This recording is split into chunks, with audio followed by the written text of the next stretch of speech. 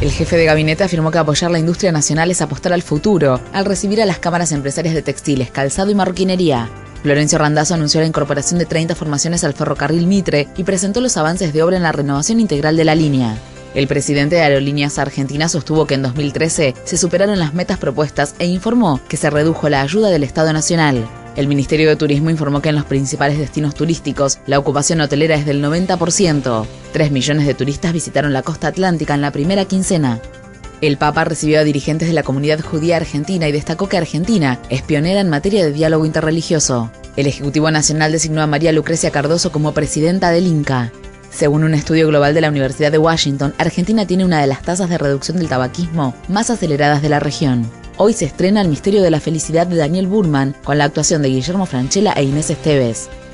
El Dakar Argentina-Bolivia-Chile ingresó en su recta final al disputarse la undécima etapa entre Antofagasta y El Salvador.